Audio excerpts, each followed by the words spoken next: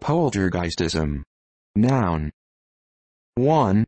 The supposed manifestation of the presence of one or more poltergeists, especially as involving physical objects which move or fly about without warning.